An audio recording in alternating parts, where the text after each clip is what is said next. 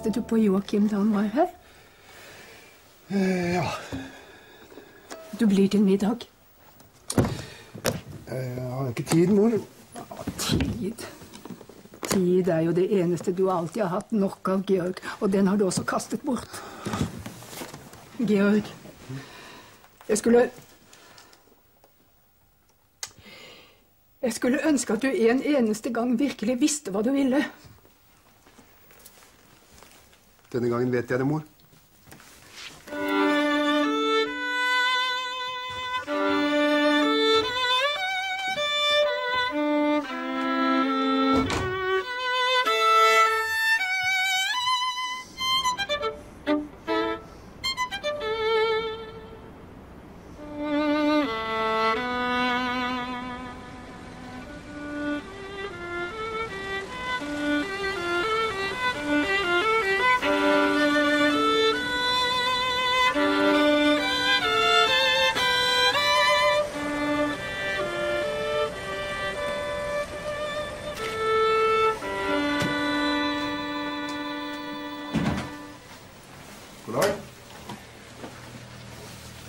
Georg Ahlsen.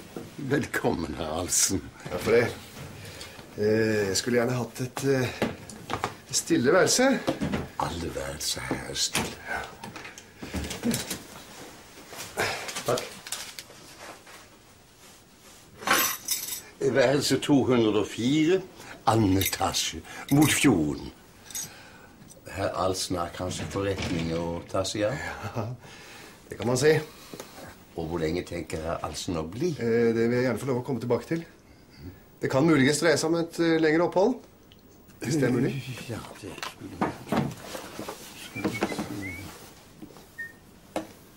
Jo da, det kan la seg gjøre.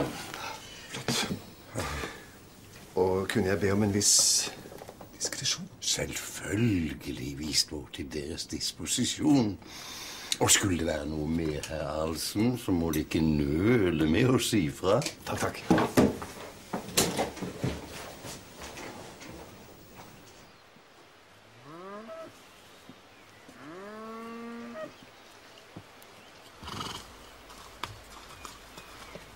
Ja, Du veit det, Joakim, at hun er gammel, mamma. Så det er vel ikke annet å vente.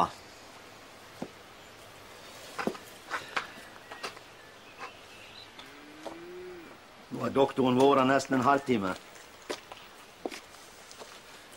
Kjem sjukebilen? Nei da. Jeg unner mor mi å få dø hjemme.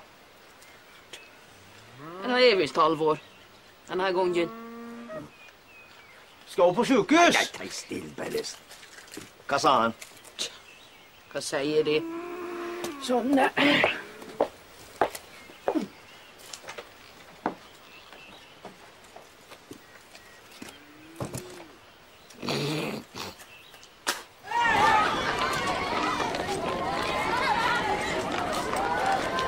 Du, vet du, Halland?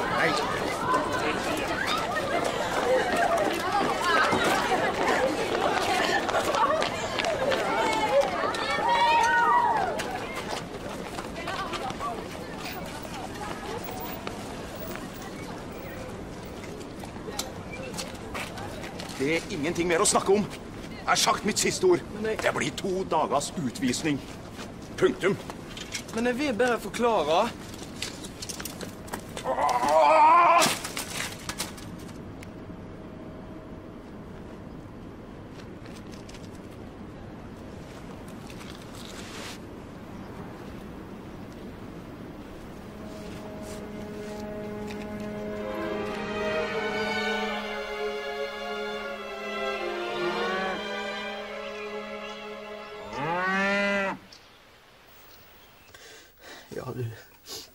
Får takk for alt, og mamma.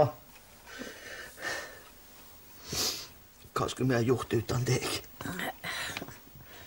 Jeg gjorde så godt jeg kunne. Presten Broch sa alltid at jeg laga så god mat. Var det ikke for ingenting han tok mye med fra Sunnmøre?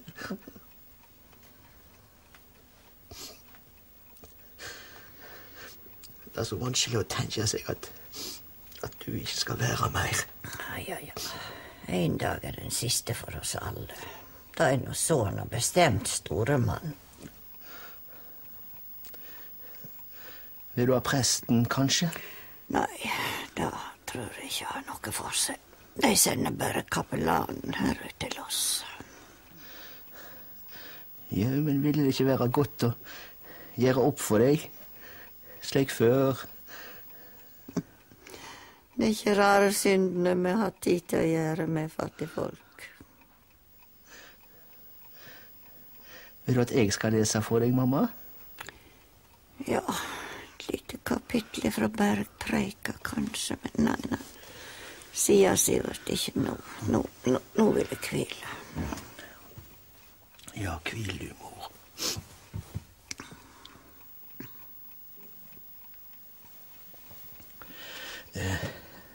Det var bare en liten ting.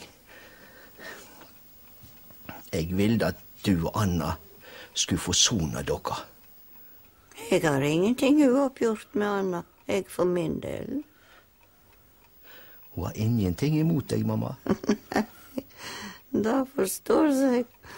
Hvis jeg kunne ha levd av luft alene, hadde jeg hatt enda mindre imot meg. Ei, ingenting binder meg til denne verden lenger. Testamenter jeg skriver, så ingen skal trenge å klore hverandre på grunn av smulene som igjen etter meg. Alt slikt har jeg ordna med sakføreren min i Lovranger. Testamentet? Ja. Jeg trodde vi skulle ha det som ble igjen etter deg. Ja, vi trodde vel det, hun Anna. Men han har tenkt å gi en liten skjerv til Joakim. Ja, det er fint at du tenker på han Joakim. Tenkte han kunne få hva mi. Joakim skal få garen, etter meg og Anna. Han. Ja, men Halvor har odelsretten. Nå tror nå vel aldri at Emma vil godta at andre enn de for gården. Det er vel ikke for vane å gi noe ifra seg kommunistene. Nei.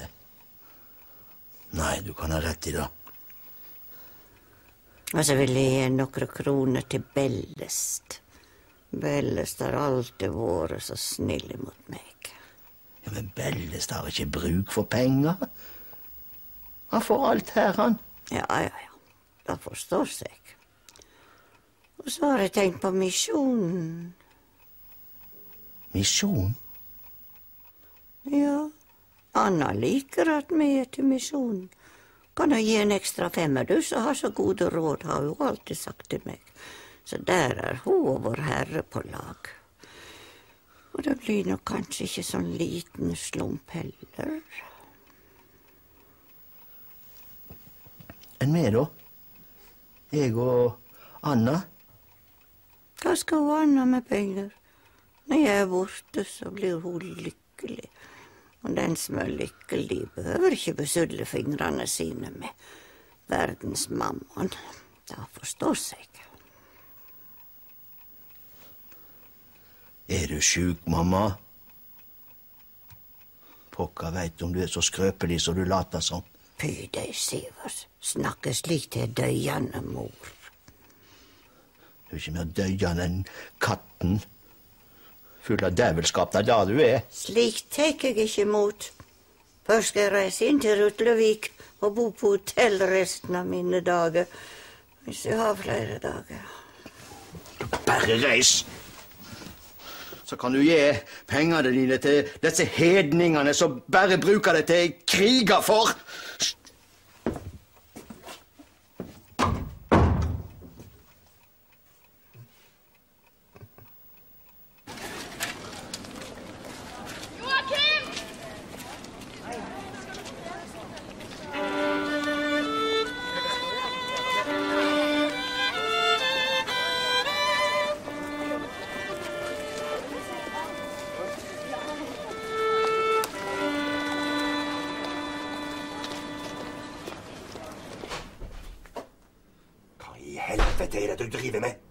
Hva et par briller koster? Men han vil ikke høre på meg. Du har jo sjøl sagt at vi skal kreve at folk behandler dem med respekt.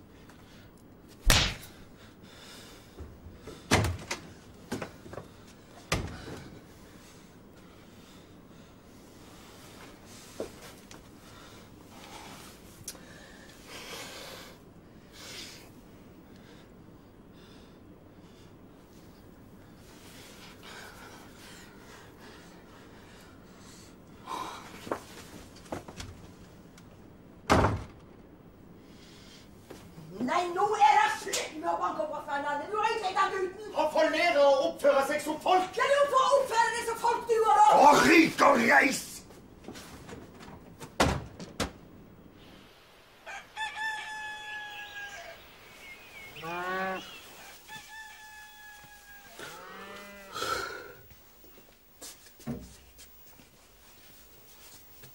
Fikk du greie på hvor mye hun har?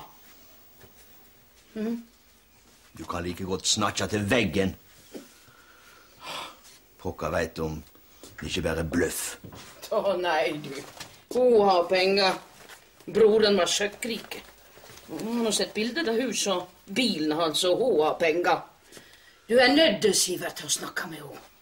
Alvorlig. Du kan ikke være hard imot ei mor som kan dø mellom fingrene på deg. Du har nå alltid tatt parti for mor di, du. Men hva kan jeg gjøre, da? Hun har den pokker sakføreren sin inne i Lovranger. Alt er skrevet ned. Og alle respekterer et menneske som gir pengene sine til misjonen. Ja, jeg ser hvor utkråpen hun er. Du må snakke med henne. Jeg Ja. Gjør opp gammelt nag.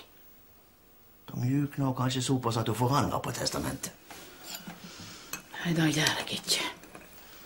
Hvis hun kommer til meg, så kan hun jeg, men jeg går ikke til hun. Nei, de er nett like begge to. Samme udla. Bare vrangvilje og dævelskap. Og her har jeg gått år ut og år inn. Hæ? Det har ikke vært mye kjekt, nei. Nei, nå skiner det, Sivert. Nå må du nett se her. Er det? Se. Nå skal hun legge klær bløyt nå. Men der ser du hvor tjukk hun er. Jaggu overlevde hun denne gangen òg. Du kommer aldri til å bli morløs, Sivert.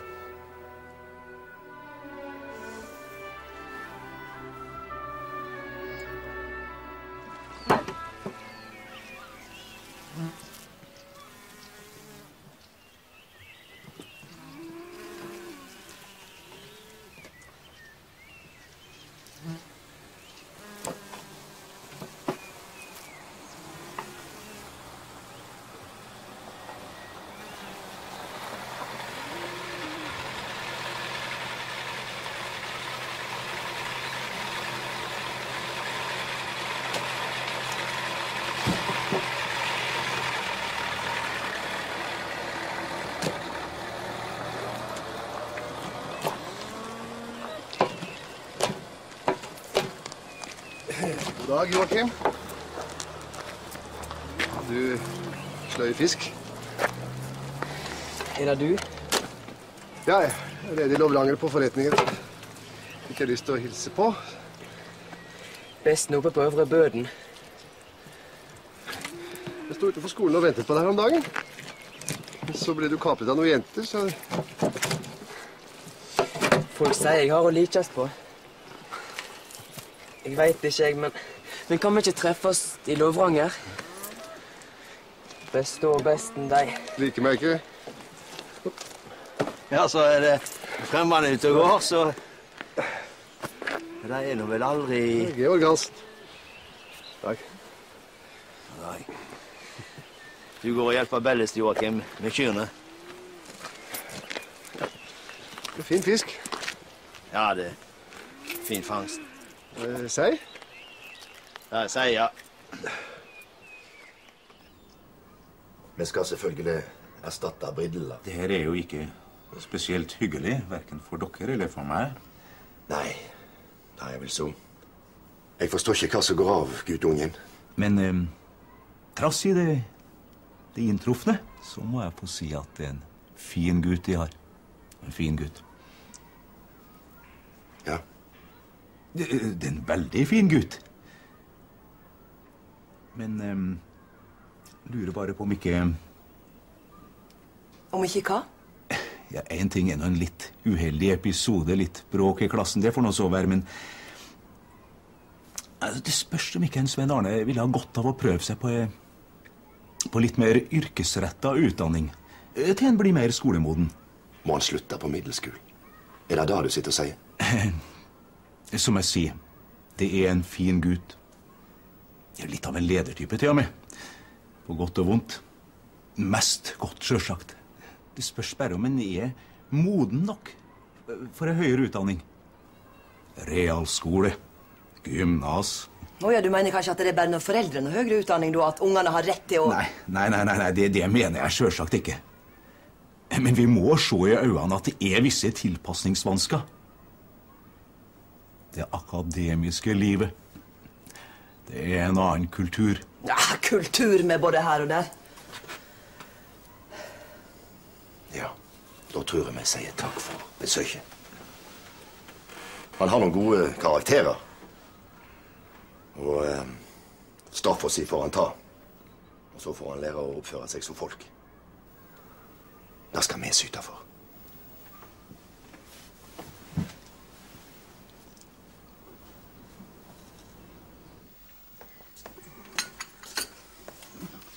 Må du være så god å ta til deg så lenge det er. Det er nå ikke mye, men det er nå. Ta nå til deg, så. Den. Takk, takk. Jeg eh, tar den til, deg. Ja, velsigne deg.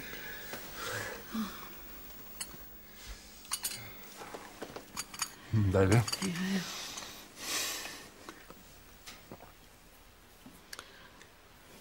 Så du havna i krigen, du stakkar mann. Um,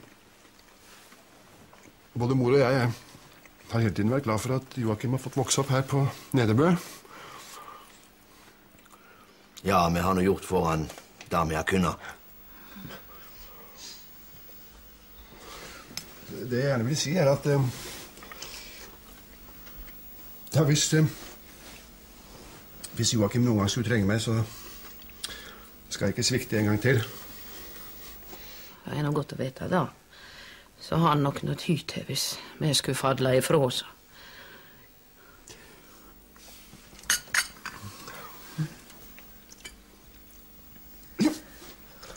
Jeg har en eh, gave til deg, Joakim.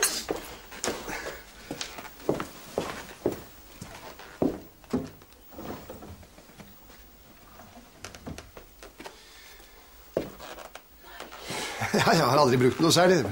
Det ble piano for meg. En eh, fiolin skal ikke stå og støve bort. Den skal, skal brukes. Brukes med kjærlighet. Jeg vil gjerne at du skal ha denne, Joakim.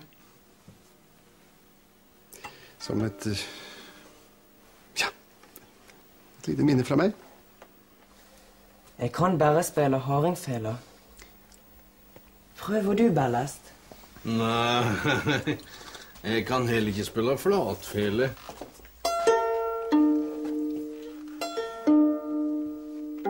Oi. Ja, her har du fin noe som det færreste har råd til å eie, Ja, ja, det er en god fiolin. Meget god fiolin, så mye kan jeg si. Hva sier du nå da, Joakim? Det er far din.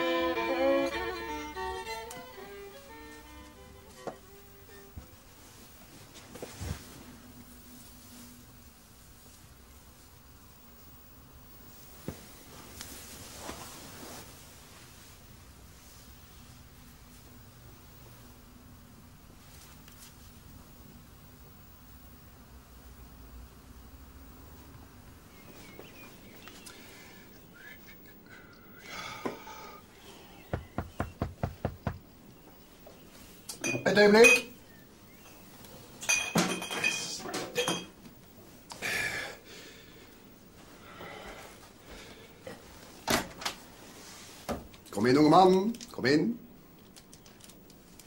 Stig på.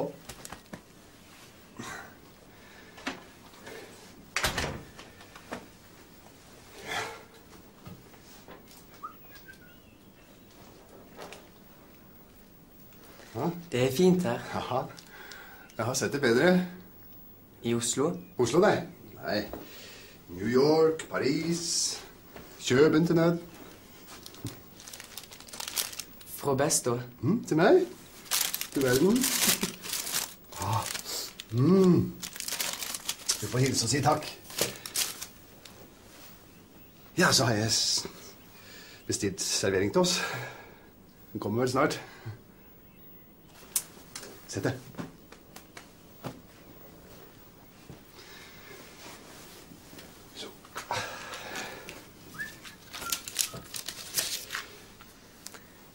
Takk for fela. Ah, det var ingenting. Du bare lå der og slang. Ikke noe tristere enn et instrument som ingen spiller på. Da sier Bellest òg.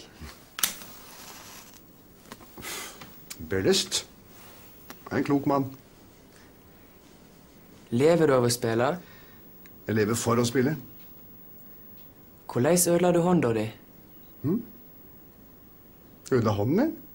når du skulle spille konsert? Ja, det, ja. Jo, jeg eh, Jeg brakk to fingre. Disse her. De er jaggu ikke gode ennå. De blir stive i regn og krokete i sol. Brakk de? Slåsskamp. Musikere bør ikke slåss. Skulle ha forsikret dem, vet du. For en million, minst. I krigen var det vel mye slåssing. Jo. Men det verste var å vente. Det var så fordømt stille. Ingenting er stillere enn en krig. Stille som i graven. Er krigen stille? Like stille som Kom inn! Ja. Mm. Ja, dette er min sønn. Ja, ja, ja, dette her kan vi komme tilbake til. Jeg liker ikke å ha en masse småregner slengende rundt. Takk skal de ha.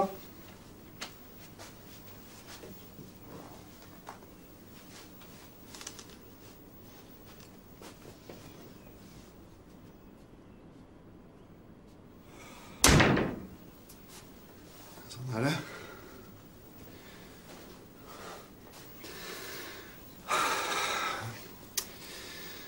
Verden er et tungvint sted. Er du rik, du òg? Jeg òg. Nei, nå må du spise. Men det er jo til deg. Ikke da, spis.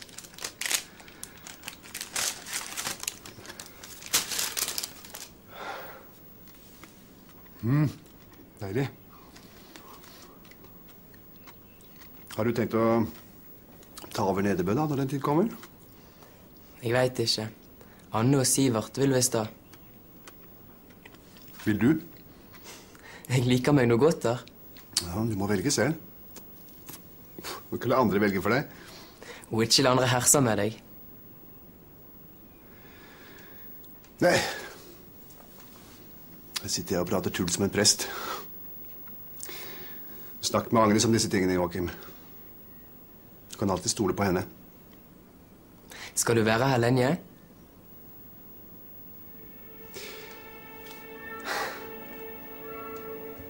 Ja.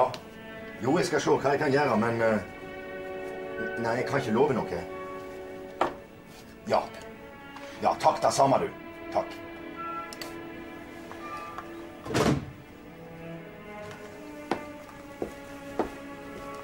Eh, eh, Du, jeg skal høre. Dette klarer du aldri å gisse. Hvem som ringte, mener du? Nei, hva det handler om. Du er vel blitt ny formann i Kjemisk, vel? Hadde det nå vært så vel? Nei, de ringte fra hotellet. Direktøren. Og veit du hva han sa? Kanskje han hadde fått gjester? Og så var han så glad at han var nødt til å fortelle det til noen. De hadde iallfall fått én gjest. Georg Alsen, har du hørt om han? Til nå er resultatet ei svær brennevinsrekning og ei tom setlerbok. Og så ringer de til oss. Ja, Enda godt jeg ikke ringte hjem. Til pappen, mener jeg. Tror det skulle tatt seg ut. Nei, du, sånne Oslo-folk, de eier jo ikke skamma vett. Nei. Men nå vil direktøren ha betalt for regningene sine. Send dem til Kristine Alsen, kan du hilse han og si. Gjerne for meg. Hvis ikke Hvis ikke Alsen kunne gjøre opp for sine ærlige arbeid De tar folk inn på fabrikken. Georg Alsen. I kjeledress. Nei, det mener du ikke. Jo, da kunne vel la seg gjøre. Sett at uh, noen la inn et godt ord for han. Hæ?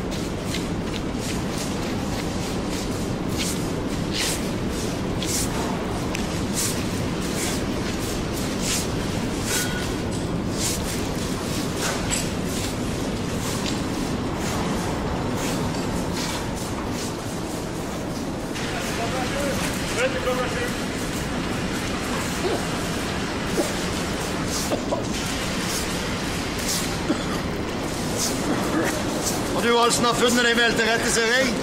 Aldri hatt det bedre. Hei, vent med tømminga!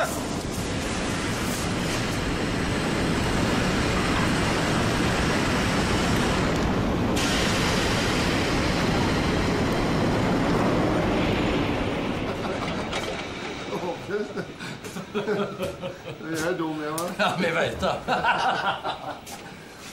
Fortell videre. Jeg hørte om hun dame som var enda dummere, vel? Hun som eh, satt og stirret ut av vinduet hele bryllupsnatten. Hei, Halvard. Møte klokka sju. Vi tar skiftplansaker om det eventuelt. Fint.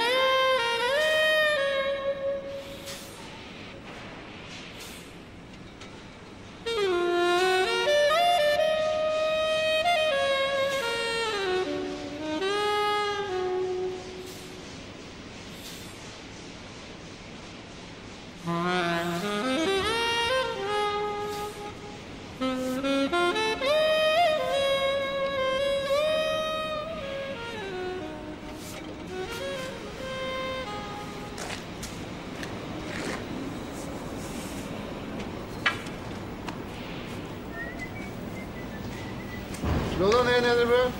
Ellers gjør jeg det. Jeg slår ikke folk som ligger nede. Følte ikke? Det går dårlig, dette, Halsen. Basen sier at du har sangerinnehender. Du slapp i jobben, og det er arbeidskameratene det går utover. Folk som arbeider her, liker ikke å vasse til knes i drit og støv. Farlig er det òg. Du får passe deg, eller så er det rett på porten. Sangerinnehender, det var morsomt, det. Hvis dere å flire av, Halsen. Dette her er siste advarsel. Jeg er ikke sangerinne, jeg, vet du. Jeg er musiker, jeg. Og derfor har du fått de letteste jobbene. Takk, takk, takk. Hjertelig takk.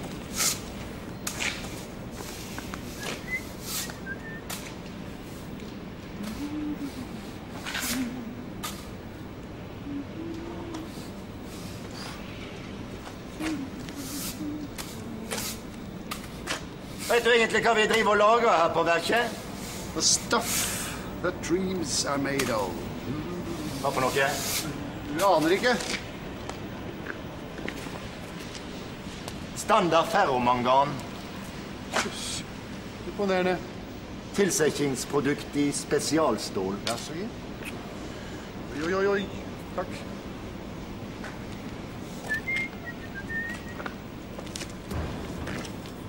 Du eh, Nedrebø?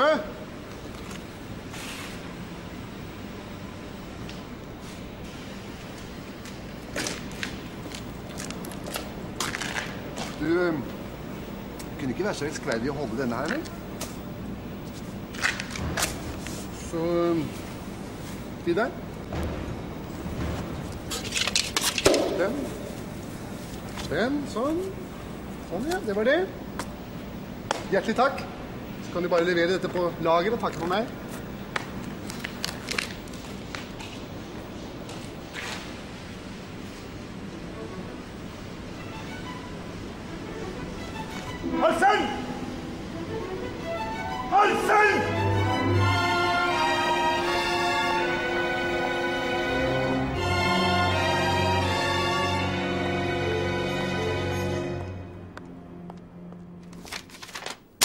Står det foresatts underskrift for de som under 15 meter faren eller mora skriver under. Ja, ja, du skriver ikke under, Halvard? Gå og legg deg, har jeg sagt! Du får ikke sove. Jeg vil ikke gå på den skolen mer. Lektor Halland driver og pisser unger til de fine opp til ryggen. Han sier at vi snylter på de rike. Skal jeg sitte og høre på sånt, kanskje? Nei, gud om du skal Ja, Du skriver ikke under? Du gjør ikke det? Jeg har ikke skrevet under. Jeg reiser uansett hva de gjør.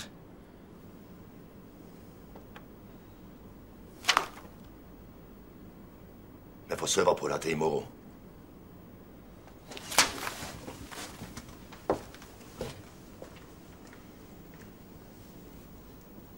Ikke gjør det.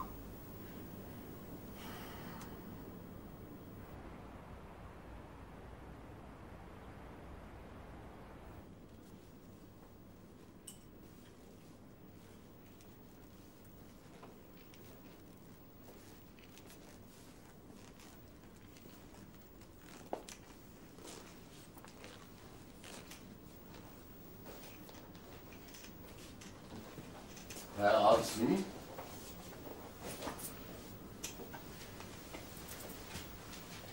På gjensyn, herr Alsen.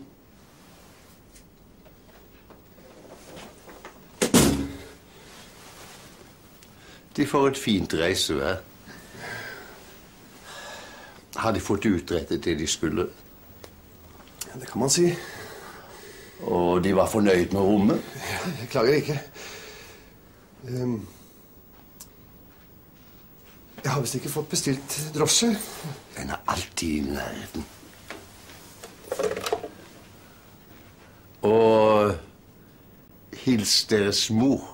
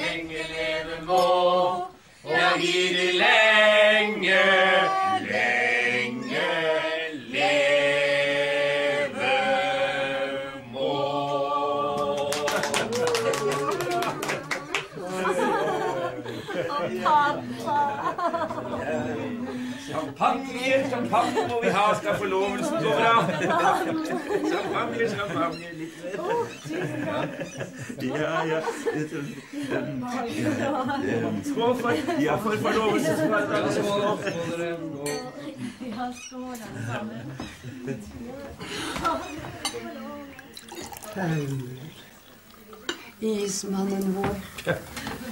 Som er blitt kaptein.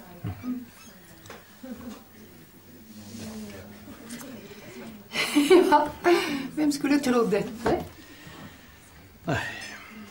De unge finner på litt av hvert. Ja, så lenge de ikke har hastverk, sier nå jeg. Ja. Skål nå, da, alle sammen. Skål. Vi fant da på litt av hvert, vi også.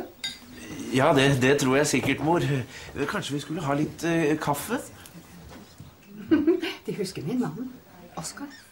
Oskar Ahlsen. Ja, det er lenge siden. Ah, selvfølgelig er det lenge siden. En gang rodde han helt til byen for å hilse på meg. Han la til i Frognerkilen ved siden av dronningen.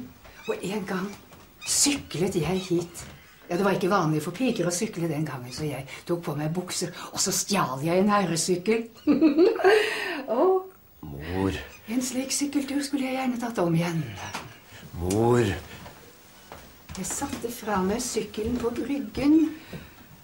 Og på den andre siden av sundet sto min elskede og vinket til meg. Vi ble forlovet to dager etterpå. Og nå, Ja, men så fant han på at han ville åpne forretning inne i Kristiania. Og da, og nå har du tenkt å holde tale nå igjen? Nei, nei, jeg vil bare foreslå at vi går ut og nyter denne sommerdagen. Ja. Og enda en skål for det unge paret. Ja. Skål! Skål! Skål!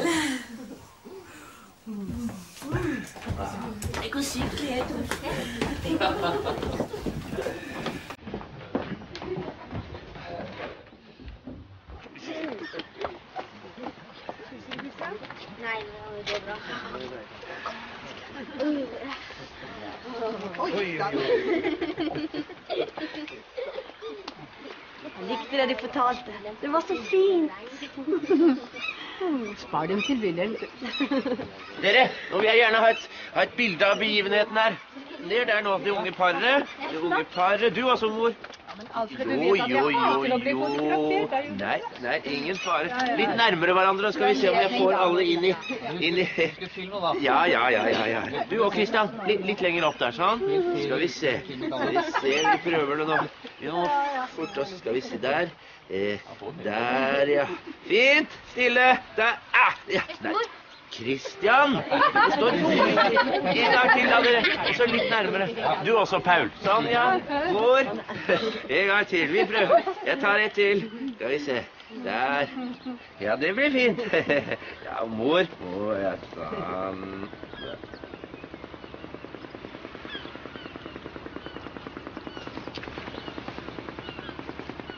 Onkel Georg! Hei! Hei!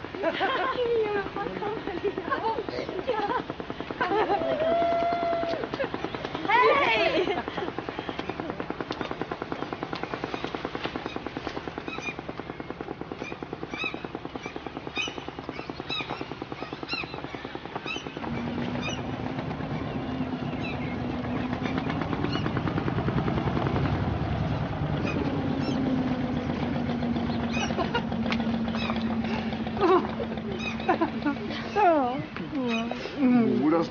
Fryser. Ja, blodet har visst stivnet i årene mine. Du har aldri sett så godt ut, mor. Å, du ser dårlig. Storebror! Jeg kommer ikke for sent til champagnen, ser jeg. De, de husker vel min bror Georg? Må jeg få gratulere?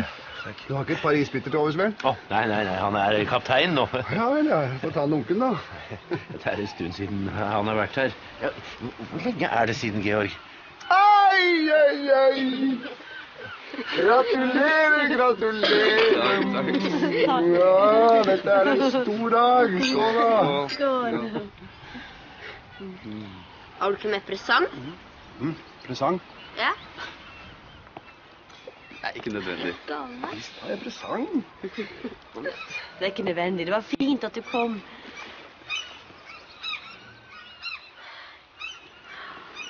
Takk. Takk skal du ha. Ja, jeg skulle ha pakket den inn, men jeg fikk ikke tid. Hva er det? Hva det er? Det er smykke fra den store verden. Hva er planene nå da, unge mann? Mann? Pleier også far alltid å si. Altså, ja, det ligger vel til familien. Vår far pleide å kalle oss unge menn før vi fylte to.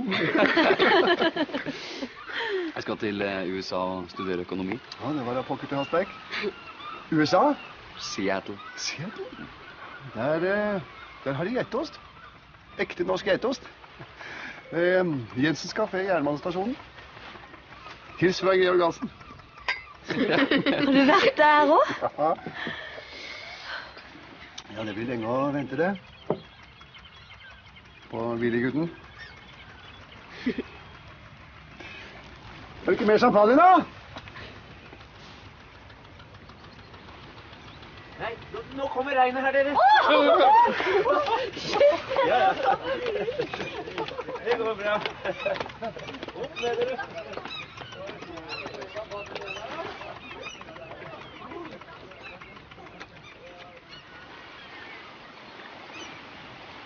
Fem år.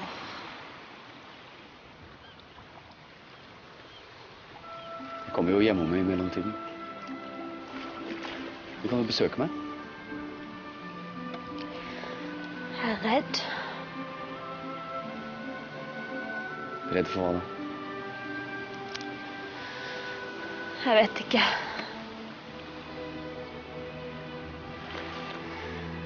Og deg? For meg?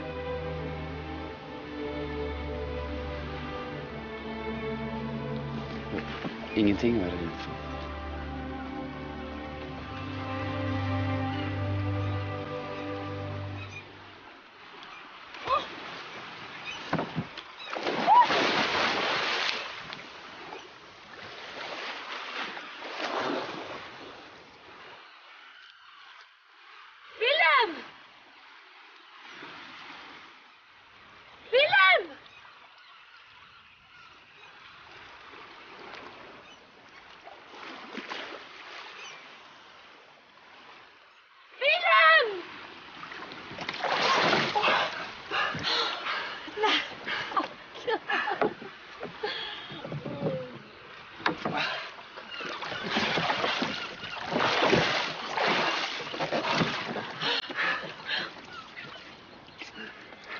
Har å være redd for.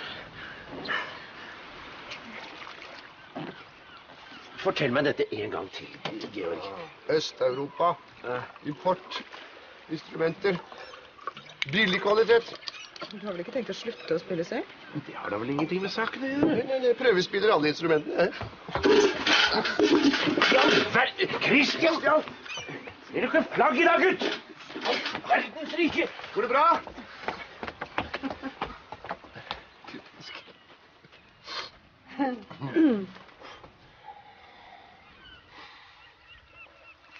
Vi har bodd på samme hotell.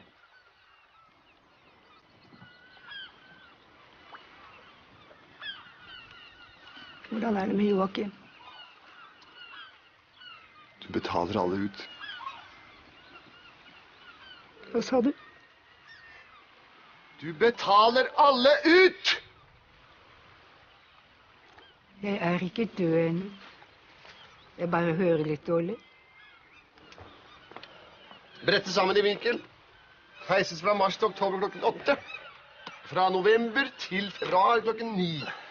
Hales ved solnedgang. Eller dog senest klokken 21. Mm? Det har gått en god skole, hva? Vi? Vi, ja. Willy!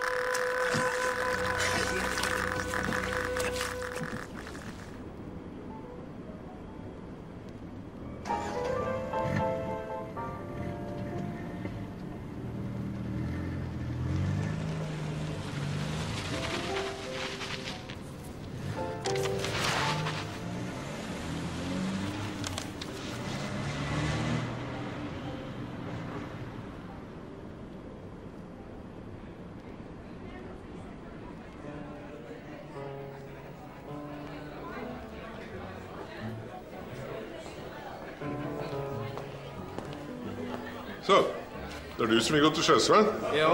Mhm. Papirene har du med deg, sier jeg. Ja, det er bare de underskrift som mangler. Men ja, vi får se oss, tror jeg. Ja, du er sønn av Halvard Nedre Bø. Ja, det er du nok i god fysisk form. Og Engan blod i årene. Ja, det var godt nok. Gamle Algot er litt av en friskus, du. Nei, ja, vi satser på at du er i fin fysisk form. Hm? Men så må du love å være frisk når du kommer tilbake igjen nå. Du skjønner hva jeg mener?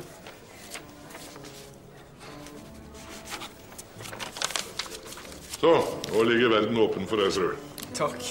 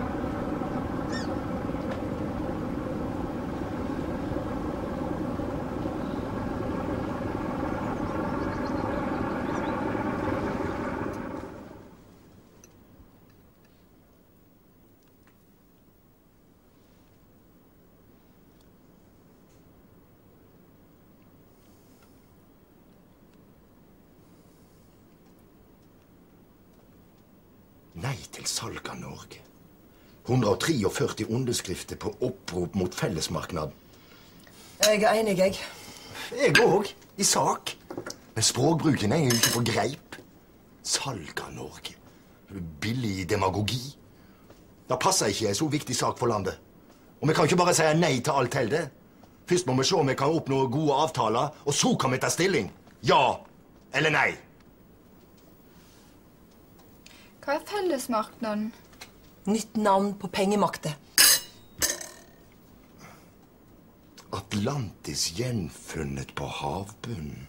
Av tysk sogneprest. Skrev Magnus Brostrup i Jyllandsposten.